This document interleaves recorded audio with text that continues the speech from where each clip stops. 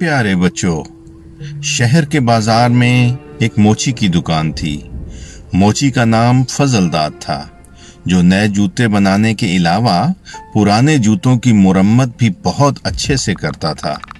फजलदाद ने एक कुत्ता भी पाल रखा था, जो सारा दिन उसकी दुकान पर रहता था। गर्मियों की एक दोपहर में स्याह कपड़ों में मलबूस घुंघराले बालों वाला एक लंबा चौड़ा शख्स फजलदाद से अपने लिए नए जूते बनवाने आया।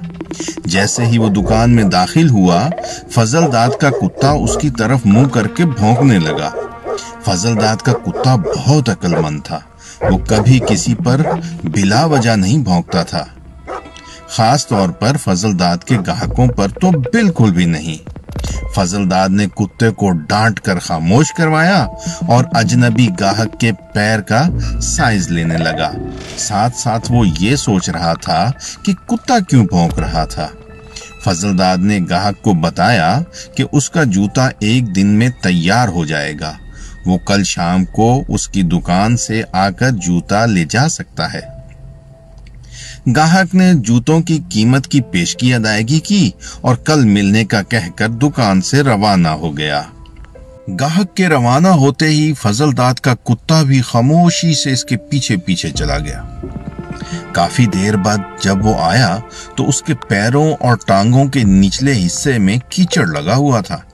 फजलदाद ने एक नज़र कुत्ते पर डाली और अपने गाहक के लिए नए जूते बनाने में मसरूफ हो गया, जिसने अपना नाम जग्गा बताया था। अगले दिन जब वो जग्गा नाम का घुंघराले बालों वाला गाहक अपने जूते वसूल करने आया तो फजलदाद का कुत्ता उसे देखकर फिर भौंकने लगा। फजलदाद सोचने लगा कि ये माजरा क्या है?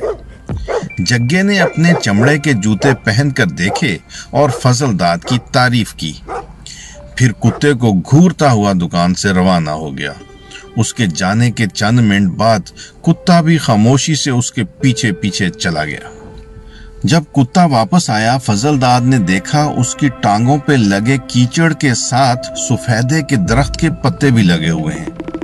अभी चंद ही रोज गुजरे थे कि पता चला कि शहर के गवर्नर के महल में चोरी हो गई है।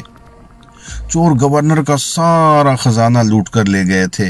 गवर्नर ने ऐलान किया कि जो कोई चोर पकड़ने में पुलिस की मदद करेगा या उसका लूटा हुआ खजाना वापस ले आएगा तो गवर्नर अपने खजाने में से इस शख्स को बहुत से इनाम कराम से नवाजेगा। ये सुनकर फजलदाद ने सोचा कि उसे डाकू पकड़ने के लिए गवर्नर की मदद करनी चाहिए।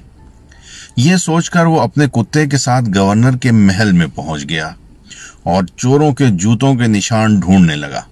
जल्द ही उसे पता चल गया कि चोरों के जूतों के निशानात में इस जूते के निशान भी शामिल हैं, जो उसने चंद दिन पहले जग्गा नाम के गाहक को बना कर दिए थे। जब कुत्ता पहली दफ़ा जग्गा पर भौंका था तो फजलदाद ने इसके जूतों के नीचे एक खास डिज़ाइन का तला लगाया था, ताकि अगर ये शख्स चोर हो तो आसानी के साथ शनाख्त किया जा सके।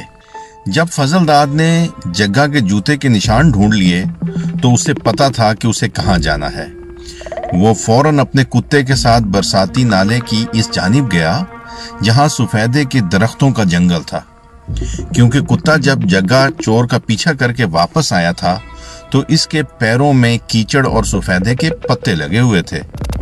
बरसाती नाले के करीब जाते ही कुत्ते ने फजलदाद की रहनुमाई का फरीजा संभाल लिया और इसे जंगल में बनी उस झोंपड़ी में ले गया, जहाँ पर जग्गा नाम का चोर अपने साथियों के साथ गवर्नर के महल में वारदात से पहले ठहरे हुए थे। लेकिन अब ये झोंपड़ी खाली थी। वो लोग यहाँ से जा चुके थे। जग्गा जाते हुए अपने जूते और स्याह रंग का लिबास भी झोंपड़ी में छोड़ गया था। खाली झोंपड़ी को देखकर मायूस हुए फजल दाद जग्गा के कपड़े देखकर पुरुमीद हो गया। उसने अपने कुत्ते को जग्गा के कपड़े अच्छे से सुंघा दिए। बच्चों, ये तो आप जानते ही होंगे कि कुत्तों की बाज नस्लें खास तौर पर ब्लड हाउंड में सूंघने की बेपनाह सलाहियत होती है। उन्हीं एक दफ़ा किसी के इस्तेमाल की कोई चीज़ सुंघा दी जाए तो फिर ये मीलों तक जिसम की बू का पीछा करते हुए अपने शिकार को ढूंढ लेते हैं।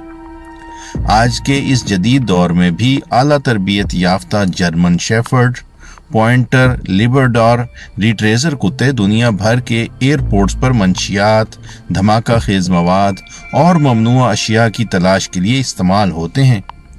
इसके अलावा तहकीकाती इदारे और पुलिस मुजरिमों की तलाश और ताकुब के लिए इन तरबियत याफ्ता कुत्तों को इस्तेमाल करती हैं। खैर, हम अपनी कहानी की तरफ़ वापस आते हैं।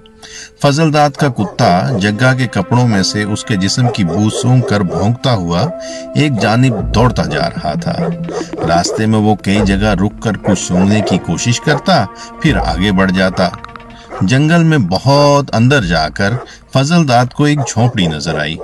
उसने अपने कुत्ते को थपकी देकर खामोश रहने का इशारा किया और फिर दबे पाँव चलता हुआ झोंपड़ी के करीब गया।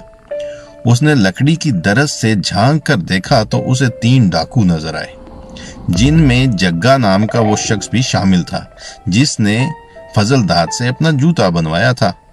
फजलदार खामोशी से लौट आया और शहर की पुलिस को इतला दी कि गवर्नर साहब के महल में चोरी करने वाले लोग जंगल में झोंपड़ी में छुपे हुए हैं। पुलिस ने फ़ौरन कार्रवाई करते हुए डाकुओं को झोंपड़ी पर छापा मारकर गिरफ़्तार कर लिया और उनसे गवर्नर के महल से लूटा हुआ सारा खजाना बरामद कर लिया, जो इन्होंने झोंपड़ी का फर्श खोद कर ज़मीन में छुपा रखा था। गवर्नर फजल दाद और उसके कुत्ते की जहानत और बहादुरी से बहुत मुतासर हुआ और उसने इसे ढेर सारे इनामों कराम से नवाजा।